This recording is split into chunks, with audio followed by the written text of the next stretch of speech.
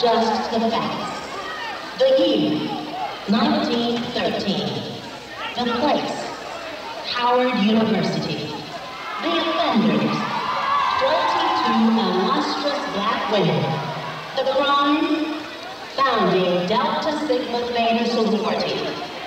Will the defendants please enter, enter, enter, enter, enter, enter, enter, enter.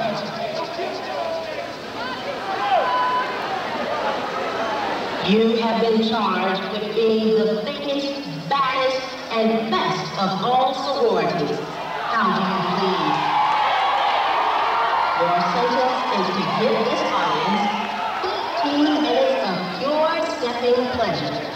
Now that the audience has been teased, it's definitely time for them to be pleased. Raise your right hands. Do you solemnly swear to give this audience the show they paid for? Now, now, without further ado, the ladies of DST will serve their time.